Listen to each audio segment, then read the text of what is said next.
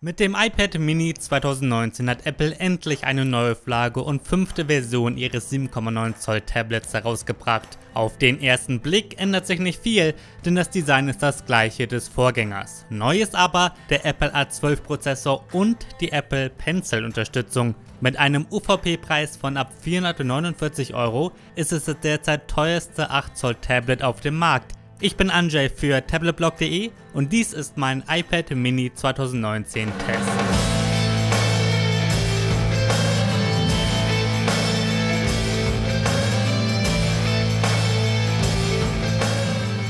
Starten wir mit dem Design und der Verarbeitung und das ist gleich eines der wenigen negativen Punkte meines Tests. Das iPad Mini hat sich vom Design her im Vergleich zu allen Vorgängern fast gar nicht geändert. Für einige mag das ein klassisches Design sein, doch hält man das aktuelle iPad Pro dagegen, schaut das iPad Mini so ein bisschen alt aus. Die Rahmen um das Display herum sind ziemlich dick und in der heutigen Zeit wirkt das unmodern. Abgesehen davon ist das Tablet aber hochwertig verarbeitet, das kennen wir von Apple ja. Es besteht komplett aus Aluminium, fühlt sich sehr hochwertig an und ist nur 6,1 mm dünn. Mit rund 300 Gramm ist es auch sehr leicht. Unter dem Display sitzt ein Touch-ID-Fingerabdruckleser, der gleichzeitig als Home-Button dient. Der Touch-ID-Sensor funktioniert sehr schnell und zuverlässig. Ganz unten sitzt dann der alte Lightning-Anschluss. Richtig, den USB-C-Port des iPad Pro bekommen wir nicht. Das ist sehr schade. Rechts und links vom Lightning-Anschluss sind zwei Lautsprecher eingebaut für ein so kleines Tablet ist die Audioqualität ausgezeichnet. Man kann sogar einen ordentlichen Bass raushören und der Ton hört sich schön klar an. Schade ist aber, dass der Ton nur von einer Seite kommt. Stereo-Feeling kommt so nicht auf. Positiv finde ich, dass wir einen ganz normalen Kopfhöreranschluss bekommen. Außerdem gibt es einen Einschaltknopf und die Lautstärkeregler und wie üblich gibt es keinen MicroSD-Karten-Slot. Die Kameras bieten eine Auflösung von 8 und 7 Megapixel. Zwar ist die Bildqualität des iPad Mini nicht mit einem iPhone vergleichbar, aber für ein Tablet sind die Kameras gut und besser als bei den meisten Konkurrenten. Mit der Frontkamera kann man ordentlich skypen und Selfies machen und die Hauptkamera ist auch gut genug, um damit Dokumente einzuscannen oder Schnappschüsse aufzunehmen. Das Display des iPad Mini 5 ist 7,9 Zoll groß. Es hat ein Seitenverhältnis von 4 zu 3 und eine Auflösung von 2048 x 1536 Pixel. Zwar hat das iPad Mini bereits seit vielen Jahren genau diese Auflösung, doch ist sie auch weiterhin im Vergleich zu anderen sehr hoch. Texte sehen sehr scharf aus und man kann damit angenehm lesen. Auch die anderen Eigenschaften des Displays sind ausgezeichnet. Es ist ein IPS-Display mit weiten Blickwinkeln. Außerdem ist es vollständig laminiert, somit hat es nicht die störende Luftlücke, die wir vom einfachen iPad kennen. Mit 500 Nits ist es sehr hell und sowohl Farbwiedergabe als auch Kontrast sind ausgezeichnet.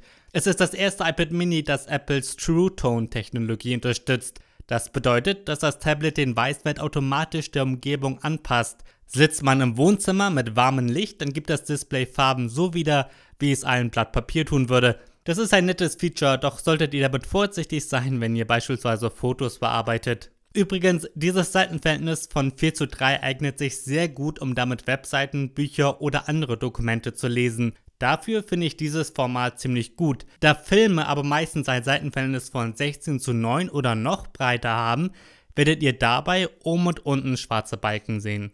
Wo wir beim Display sind, den Touchscreen könnt ihr nicht nur mit euren Fingern bedienen, sondern auch mit dem originalen Apple Pencil.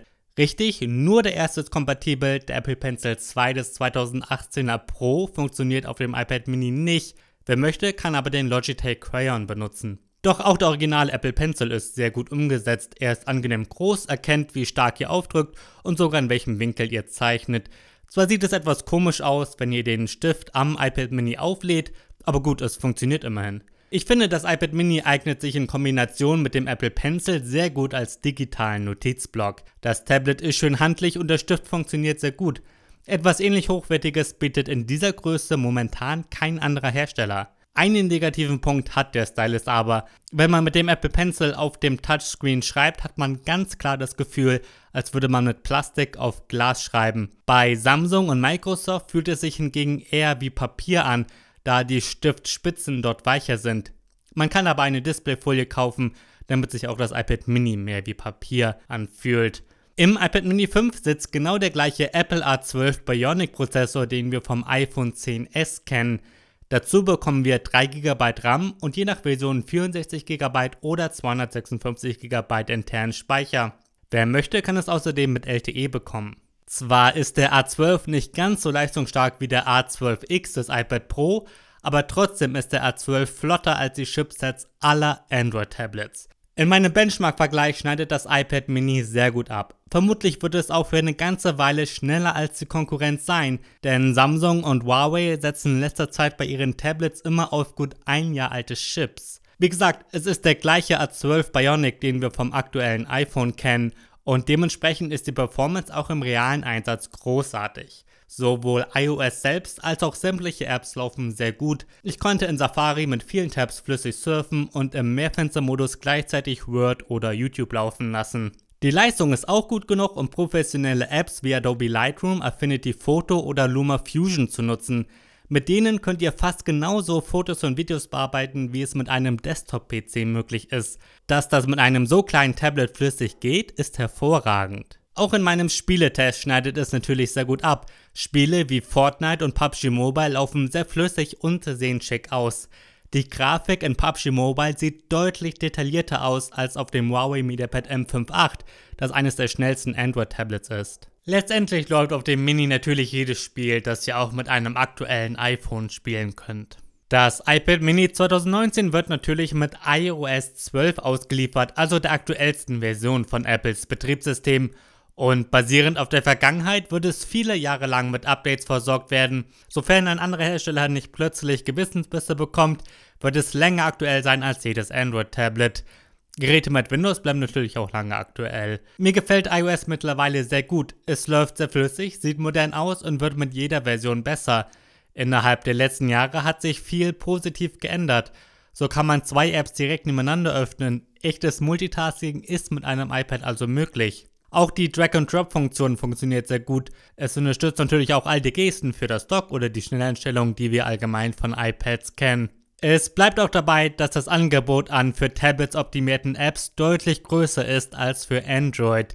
Viele Spiele und Apps wie Microsoft Word oder Adobe Lightroom sind natürlich identisch auf fast allen Plattformen, aber es gibt für iOS insbesondere im Nischenbereich spannende professionelle Apps. Affinity Photo und LumaFusion habe ich ja schon erwähnt. Für Windows und macOS gibt es solche Apps natürlich auch, aber für Android nicht. Die meiste Zeit gefällt mir die Software sehr gut, aber ab und zu sind Apples Einschränkungen etwas frustrierend. Dazu gehört, dass es zwar eine Dateien-App gibt, aber man keinen echten Zugriff auf alle Dateien und Ordner hat. Klar, die meiste Zeit braucht man das nicht wirklich, aber ab und zu schon. Beispielsweise, wenn man die Videos von einer SD-Karte importieren möchte, die mit einer Sony-Kamera aufgenommen wurden. Einen Zurück-Button vermisse ich auch manchmal. Insgesamt gesehen halte ich die Software des iPad Mini trotzdem für sehr gut. Dass man keinen Zugriff auf das Dateiensystem hat, stört mich beim iPad Pro mehr. Beim Mini sind solche Einschränkungen nicht so schlimm, da man damit ja kaum ein richtiges Notebook komplett ersetzen wird. Die Akkulaufzeit ist bei iPads immer sehr lang und auch das iPad Mini 2019 hat in meinem Akkutest sehr gut abgeschnitten. Es kam auf eine Laufzeit von 12 Stunden und 15 Minuten. Um die Akkulaufzeit zu ermitteln, lasse ich bei all meinen Tests immer ein HD-Video bei mittlerer Helligkeit in eine Endlosschleife laufen. Mein Vergleich zeigt, dass die Laufzeit zwar nicht so gut wie beim iPad Pro, insgesamt gesehen aber ausgezeichnet ist. Also, das war mein iPad Mini 5 Test. Ist es ein gutes und empfehlenswertes Tablet? Ja, natürlich ist es das. Es ist das beste 8 Zoll Tablet, das ihr derzeit kaufen könnt. Das iPad Mini ist leistungsstärker als alle Konkurrenten in dieser Größe. Gleichzeitig bietet es ein schickes Display, gute Lautsprecher, solide Kameras und Apple Pencil Unterstützung. Außerdem wird die Software lange aktuell gehalten und es gibt sehr viele speziell für iPads optimierte Apps. Von vorne sieht das iPad Mini zwar nicht neu aus, aber das dünne Metallgehäuse fühlt sich trotzdem hochwertig an. Schön wäre, wenn Apple endlich komplett zu USB-C wechseln würde, aber gut, kein Tablet ist zu 100% perfekt. Schauen wir uns mal einige Alternativen an. Wenn ihr ein besseres 8 Zoll Tablet sucht, gibt es keine Konkurrenz.